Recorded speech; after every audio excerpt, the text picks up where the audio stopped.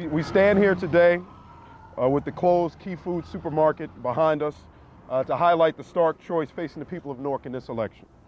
The people of Newark have two fundamentally different paths ahead of them. The people of Newark can decide to go back 50 years or to go forward 50 years.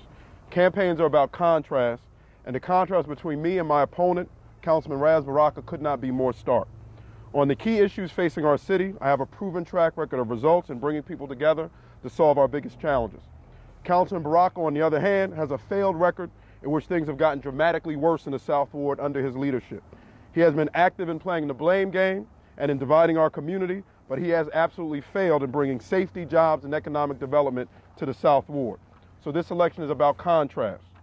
I have a proven record in crime reduction.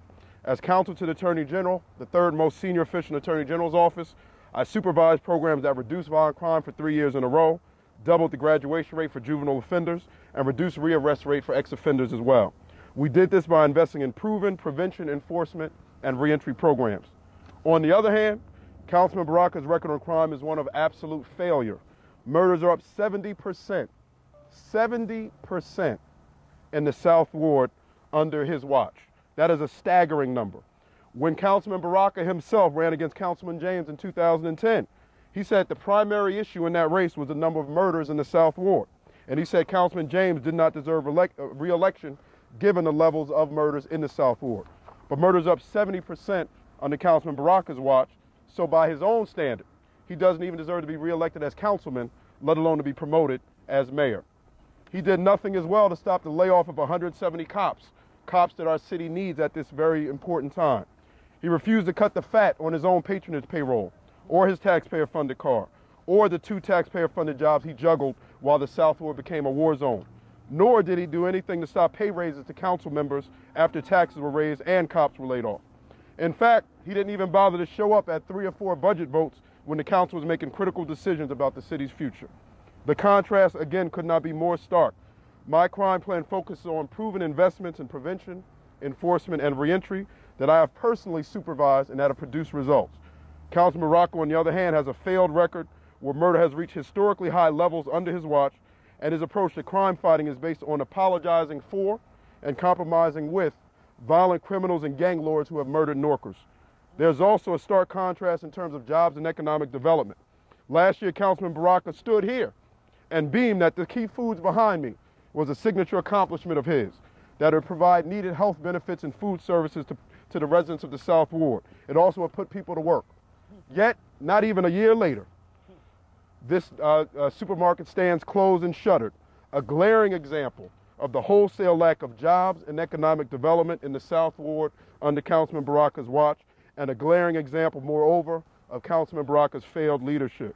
My approach to jobs and economic development is based on my track record and my proven experience, is based on building bridges and partnerships between Newark and our business and investment stakeholders.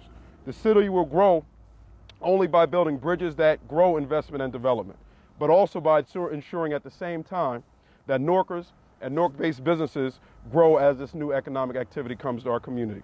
Throughout my career, I've partnered with the business and investment community to put Newarkers to work, to help Newarkers buy homes, and to help Newarkers escape foreclosure.